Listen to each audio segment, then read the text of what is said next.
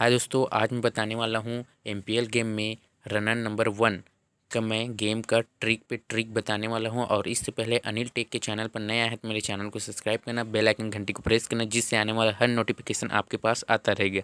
और एक मेरा और चैनल है, टेकी अनिल गेमर के नाम से। इसमें मैं बनाता हूँ फन्नी गेम के साथ मैं फन्नी वीडियो बनाता हूँ। इस चैनल का लिंक मैं डिस्क्रिप्सन में डाल दिया हूँ, आप जाकर देख सकते हैं। अगर हम इस गेम को पैसे के लिए खेलना चाहते हैं तो हमें कॉइन पर ध्यान नहीं देना है, क्योंकि हम स्कोर बढ़ाना चाहते हैं। और हम ऐसी टाइम पास के लिए खेल रहे हैं तो हम इस गेम का कॉइन हर चीज़ ले सकते हैं कॉइन ले सकते हैं, और चुम्बक भी ले सकते हैं रॉकेट भी ले सकते हैं, इसमें कोई दिक्कत नहीं। अगर हम पैसे के लिए खेल रहे तो हमें मात्र अपना स्कोर देखना है कॉइन नहीं देखना है, क्योंकि कॉइन देखने से हम ज़्यादा स्कोर नहीं बना पाते हैं। तो चलिए स्टार्ट करते आप देख सकते हैं हमारे सामने जो कॉइन है, इसको नहीं लेना है, हमें चलना है अपने जो रास्ता है और स्कोर बढ़ाना है, इसी दिशा में हमें चलना है। इस कॉइन के पीछे हमें नहीं जाना है, क्योंकि कभी कभी ऐसा होता है कॉइन के चक्कर में हम मर जाते हैं और गड्ढे में गिर जाते हैं। इसी कारण हमें कॉइन नहीं लेना है। अब देख सकते हैं हमारे सामने एक चुम्बक है और चुम्बक को लेने से हमें कुछ भी फ़ायदा नहीं है, क्योंकि इस चुम्बक को लेने से हमें मात्र कॉइन मिलेगा और स्कोर नहीं मिलेगा। इसीलिए इस चुम्बक को नहीं लेना है। और एक कारण और है दोस्तों, इसको मैं बताने वाला हूँ। मान लो हम इस चुम्बक को ले लेते हैं और हमारे राइट साइड लेफ़्ट साइड और ऊपर तरफ़ क्वाइन काफ़ी सारा है तो एक साथ होने लगता है। क्वाइन काफ़ी ज़्यादा बढ़ जाता है, जिससे हम भग रहे हैं, हम इस गेम को खेल रहे हैं तो ये हैक करने लगता है। और सामने दिख रहा है, इसमें हम टकराने का चांस काफ़ी ज़्यादा बढ़ जाता है। इस कारण इस क्वाइन को नहीं लेना है, क्योंकि हैक कर लेता है। और इसमें जाकर हम टकरा सकते हैं। जब हमारे गेम में ऐसा आता है तो हमें नीचे तरफ़ से नहीं जाना है, क्योंकि नीचे तरफ़ से जाने पर हमें सामने जाकर जस्ट और उछलना पड़ता है। इसीलिए हमें नीचे तरफ़ से नहीं जाना है, क्योंकि नीचे तरफ़ से जाने पर उछन उछलने के बाद जस्ट इसमें टकराने का चांस ज़्यादा रहता है। इसी कारण हमें नीचे तरफ़ से नहीं जाना है। दोस्तों, हमें ऊपर तरफ़ से जाना है, क्योंकि जंप करने में सरल हो जाता है क्योंकि यहाँ से जंप करने के बाद हम दूसरा जंप आसानी से लगा सकते हैं। इसीलिए हमें ऊपर तरफ़ से जाना है, नीचे तरफ़ से नहीं जाना है। तो आप देख सकते हैं, मैं नीचे तरफ़ से गया था तो कितना दिक्कत आया। इसीलिए हमें ऊपर तरफ़ से जंप कर कर यहाँ से एक जंप और करेंगे, तभी हमको सरल पड़ेगा। जब हम ये जगह आ जाते हैं दोस्तों, खेलते समय ये जगह आते हैं तो हमें इससे बचना होता है। ये दिख रहा है इससे तो हमें सीधे लाइन में हो जाना है।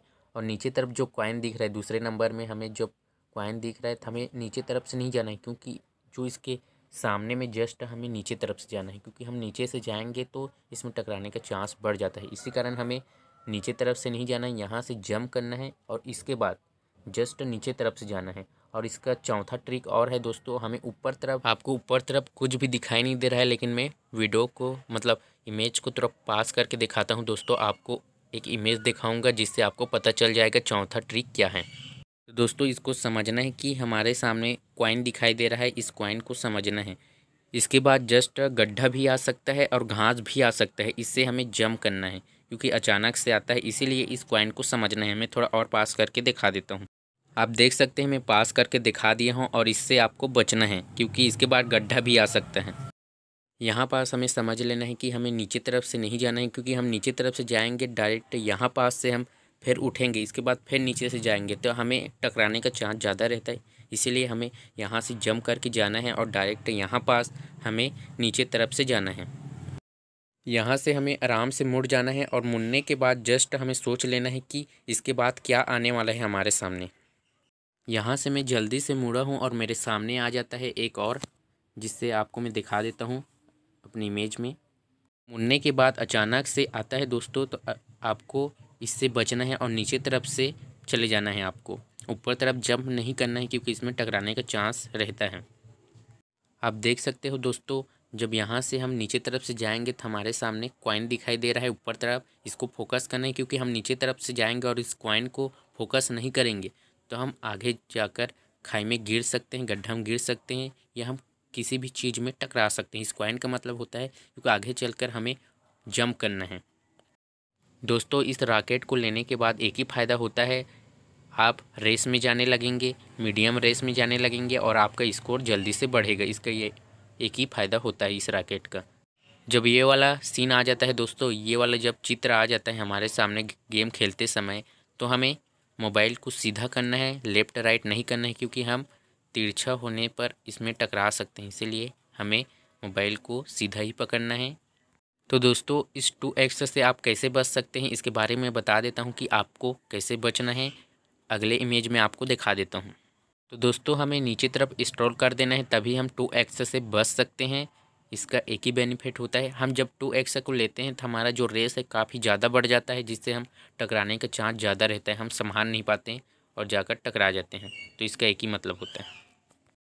दोस्तों, इसके अंदर जाने पर एक ही फ़ायदा होता है, हम मोबाइल को छोड़ दें नीचे और थोड़ा सा रिलैक्स हो जाएँ। इसके बाद फिर मोबाइल को पकड़ लेते हैं, क्योंकि इसके अंदर जाने पर ये हम कंट्रोल नहीं करते, मात्र इसको हम इधर से, लेफ़्ट से, राइट तरफ़ कर सकते हैं, एक ही कंट्रोल हो सकता है और इसको हम ऊपर नीचे नहीं कर सकते हैं। दोस्तों, दोनों तरफ़ जब गड्ढा आता है तो हमें कैसे बचना है? आज मैं इसी के बारे में बताने वाला हूँ। जब हमें दोनों तरफ़ गड्ढा आता है तो हमें राइट से लेफ़्ट तरफ़ नहीं करना है। हमें बीचों बीच रहना है, तब हम इससे निकल जाएँगे। लेफ़्ट से राइट तरफ़ करेंगे तो हम मर सकते हैं, इसलिए हमें नहीं करना है। तो इस टू एक्स के मतलब मैं पहले ही बता दिया हूँ, आपको नीचे तरफ़ स्टोर करके जाना है और हमारे सामने एक और चीज़ है, इसको फोकस करना है। हमारे सामने एक झोपड़ी है मतलब ये मंदिर है, मंदिर ये झोपड़ी कुछ भी हो, लेकिन इसको हमें देखना है। क्योंकि जब भी ये वाला जब सीन आता है तो हमें समझ लेना है कि हमें राइट तरफ़ मुड़ने वाले हैं। दोस्तों, यहाँ पास एक चीज़ और है, इसको देखना है, जो मोड़ दिखाई दे रहा है, इसको ही देखना है, क्योंकि यहाँ पास देखने से हमें पता चल जाएगा कि ये हम राइट तरफ़ मुड़ने वाले हैं।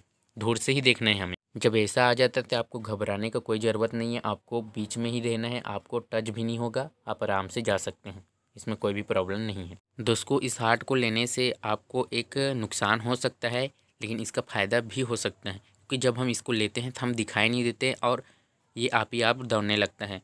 तो इसका एक नुकसान हो सकता है, क्योंकि जब अचानक हम गड्ढे में आ सकते हैं, अचानक हम दिखने लगें तो डायरेक्ट गड्ढा में हम जा सकते हैं। इसी कारण इसको नहीं लेना है, क्योंकि दोस्तों ये फ़ायदे के साथ नुकसान भी कर सकते हैं, इसीलिए हमको इसको नहीं लेना है।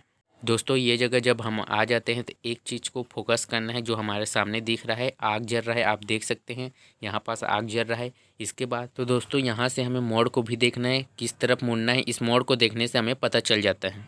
जब भी ऐसा आग जलता है, दोस्तों, हमें समझ लेना है कि हमें लेफ़्ट तरफ़ मुड़ना है। दोस्तों, हमारे सामने एक गड्ढा आता है तो हमें कोई भी प्रॉब्लम नहीं होता। अगर दो गड्ढे आते हैं तो हमें प्रॉब्लम हो सकता है। और कभी कभी एक गड्ढे में हम कूद कर बाहर भी निकल जाते हैं, इससे कोई भी प्रॉब्लम नहीं होता। लेकिन दो गड्ढे आते हैं तो हमें टाइमिंग के साथ चलना पड़ता है। तो दोस्तों, आप देख सकते हैं, फिर से आ गए हैं, एक गड्ढा आया है और गड्ढा के बाद एक मंदिर भी आया है। आप देख सकते हैं, झोपड़ी सा है। दोस्तों तो इसको हमें समझ लेना है कि हमें राइट तरफ़ मुड़ना है। क्योंकि इसके पहले मैं बताया था कि एक आग जल रहा था तो हमें लेफ़्ट तरफ़ मुड़ना था तो इसको समझ लेना है। तो दोस्तों, हमारे सामने दो गड्ढा आ गया है, आप देख सकते हैं, ये फ़र्स्ट और दूसरा सेकेंड। यहाँ पास हमें टाइमिंग के साथ उछलना पड़ता है। तो हमें क्वाइन दिखाई दे रहा है, यहीं से हमें जम करना है, क्योंकि हम यहाँ से जम करेंगे डायरेक्ट गड्ढे के सामने आ जाएँगे। क्योंकि अगले जो गड्ढा है, इसमें जम करने के लिए सरल पड़ सकते तो आप देख सकते हैं, मैं टाइमिंग के साथ किया तो गड्ढे, दोनों गड्ढे से मैं पार भी हो चुका हूँ। टाइमिंग के साथ आप करोगे तो गड्ढे से पार हो सकते हैं। इसमें बहुत से लोग आकर मर जाते हैं। दोस्तों, मैं पहले बताया था कि इस आग को फोकस करना है। जब भी इस आग को फोकस करोगे तो आप लेफ़्ट तरफ़ मुड़ जाओगे। बहुत ही आसान से आप लेफ़्ट तरफ़ मुड़ जाओगे। कोई भी दिक्कत नहीं आएगा। इस आग को ही फोकस करना है और ये पास मोड़ है, इसको फोकस करना है। आपको ऑटोमेटिक समझ आ जाएगा।